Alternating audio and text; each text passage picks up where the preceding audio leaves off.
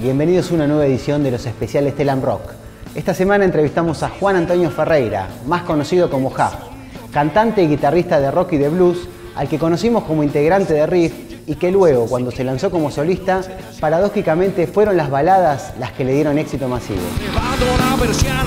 tierra, pasto y humedad. hace tres horas, su recuerdo nada más siempre tiendo a hablar de lo que para mí es más importante y que en este momento no tiene mucho que ver conmigo porque tengo 56 años y estoy hablando de gente joven y los problemas que tienen para su desarrollo. Em, esto es para mí algo este, que, de lo que me gustaría hablar y por supuesto que hay algunas experiencias mías que indudablemente que pueden, si me sirvieron a mí, probablemente les sirvan a, a otros porque viéndonos a los dos, somos, somos seres humanos. A través de mi ventana puedo ver lo que pasa en mi vida, lo que siento. No te detengas.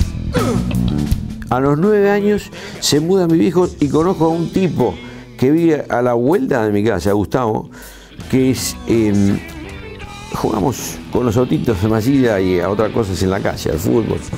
Y él me dice, mira, acá me dieron este disco en su casa.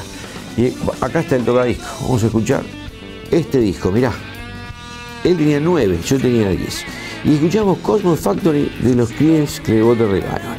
A partir de que lo escuchamos, lo dimos vuelta, y lo escuchamos y después lo volvimos a dar vuelta, y después escuchábamos las canciones y así me vino a Estuvimos horas escuchando eso. Yo tenía acá la música, yo no podía, no podía sacarme de encima de este tipo eh, eh, fuerte con los críes, hasta que un día escuché Humo sobre el agua de Deep Purple en un disco. Se llama Machine Head.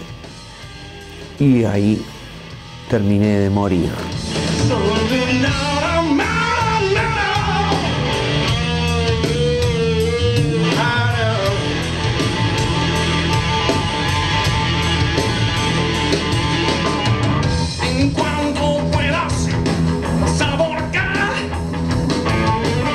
Y así empezamos a tocar.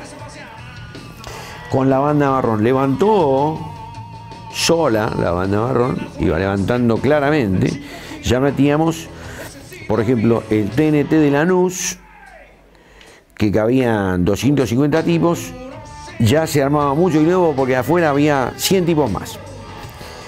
Y en ese local fue donde viene Papo y Vitico a buscarme para tocar. Tuve la gran suerte porque en ese momento yo tocaba la guitarra y cantaba como un montón de muchachos más que hay constantemente.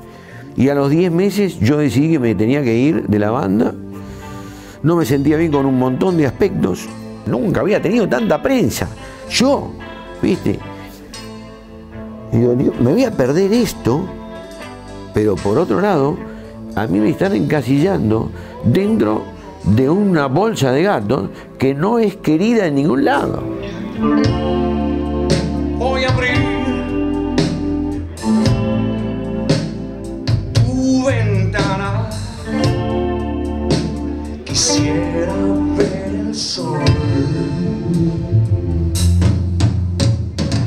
Si no puedo llenar River Plate y producir un paquete de guita verde así, bueno, loco, yo quiero ir a tocar el bajo en Café Concerts y de esa manera mantener a mi familia con la quinta que gano, que es la mínima que dice el sindicato.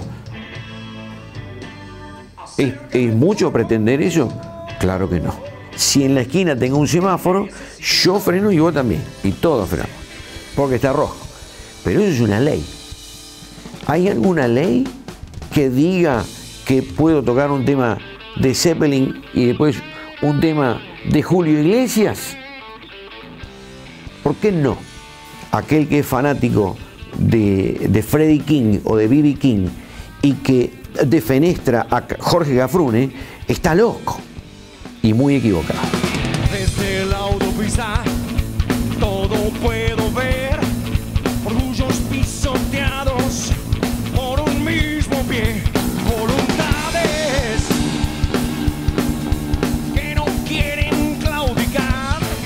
Bastante solo.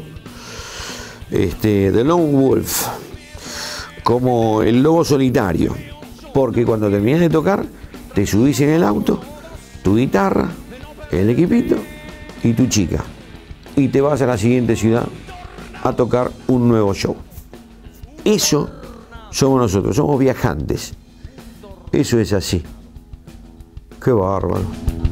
Un tornado arrasó mi ciudad y destruyó mi jardín primitivo. Un tornado arrasó tu ciudad y destruyó tu jardín primitivo. Pero no.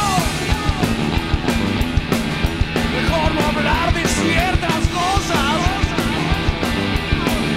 El año pasado, CAF lanzó su último trabajo discográfico titulado Canciones de Amor y actualmente está recorriendo todo el país en formato de Power Trio presentando su espectáculo Hoy Canto para Vos. Nos vemos en la próxima edición de los especiales Telam Rock. Chao.